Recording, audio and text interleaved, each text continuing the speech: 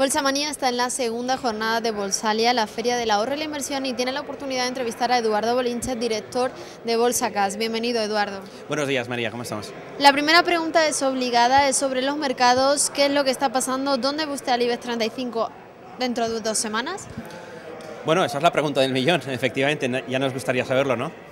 Lo que está pasando, bueno, no hay, no hay nada que explicar, ya, ya se sabe, ¿no? Hay psicosis el motivo es lo de menos. Ébola, pinchazo económico, motores gripados de la economía eh, europea, se nos acaba la droga por parte de Estados Unidos, la liquidez, el QE3. El motivo es lo de menos, ¿no? Hemos empezado a bajar y a ver dónde está el suelo. Eh, ¿Dónde vamos a estar de aquí de dos semanas? Yo creo que lo que hemos vivido y estamos en ello es una corrección distinta a todas las demás. Es decir, eh, yo creo que vamos a ver una continuidad de las bajadas después de esta reacción. ¿Cuándo dura la reacción? Tampoco lo sé, pero va a depender mucho la calidad, la velocidad y la altura que alcancemos, va a tener muchas repercusiones, no solo en dos semanas, sino también de aquí a cierre de año, y yo me atrevo a decir que todo el 2015 también. ¿eh? Entonces, veo, veo un escenario en el que vamos a tener que narrar una sucesión de máximos decrecientes de la que no hemos estado acostumbrados en los últimos dos años, porque hemos vivido mm, lo contrario, mínimos crecientes. Marzo del 2009, verano del 2011, verano del 2012, siempre mínimos crecientes después de cada corrección. Y sospecho que ahora va a venir la pauta al revés, es decir, correcciones que por supuesto luego hay contestación de reacción alcista, pero esta nunca es capaz de superar los máximos anteriores, es decir, una escalera hacia abajo. En este, este cambio de tendencia, por el que usted dice, vamos a ir a tendencia bajista, ¿en qué valores debemos invertir o cuáles son eh, los valores refugio en los que podemos aguantar la tempestad? Bueno, efectivamente, si hablamos de invertir siempre pensamos en el lado largo, pero bueno, estamos en el siglo XXI, eh, existen productos eh, CFDs, opciones put, venta de call, futuros, podemos ponernos cortos.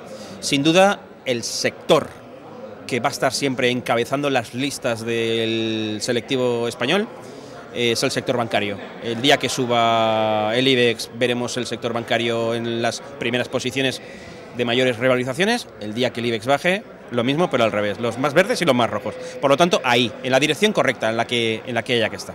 El sector bancario se enfrenta ahora a los, este los, perdón, los test 3 eh, a finales de, de octubre, principios de noviembre. ¿Cree usted que les va a impactar en sus cotizaciones? Bueno, ya, ya están impactándose. El próximo domingo 26 se, conocerán los resultados y bueno, pues el sector lo que ha hecho, en primer lugar, dejar de subir. Eso ha motivado pues la, pequeña, de momento yo la valoro como pequeña eh, bajada en los mercados y creo que va a haber un, para mí, mejor escenario posible espera, lateralidad, por lo tanto, a conocerlos. Van a salir airosos, o sea, la banca española ha recibido todas las ayudas necesarias por haber, como para que ahora se suspenda, o sea, solo faltaría eso, ¿no? Algún pinchazo puede haber por parte de banca mediana, sea popular, Sabadell quizás, sorpresa, pero, pero podría ser, ¿no?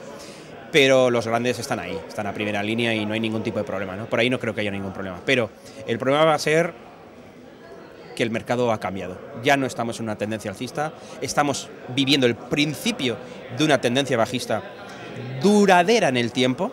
¿eh? Mm, el último impulso bajista duró 17 meses, nos cogió en un 16.040 del IBEX y nos llevó a un 6.700 en tan solo 17 meses. Y no descarto una repetición del año 2008, o sea, finales de un 2007, todo 2008 y principios del 2009, donde ante cada corrección eh, salía gran multitud de gente diciendo ya ha pasado lo peor, eh, la bolsa está barata, a comprar. Bueno, sucesivamente vimos que no era así, hasta que finalmente, ante el mismo mensaje, el 9 de marzo del 2009, pues eh, se acertó. Pues este es el mensaje de Eduardo Bolencha, director de Bolsa Nosotros seguimos aquí y toda la actualidad la pueden consultar en bolsamanía.com.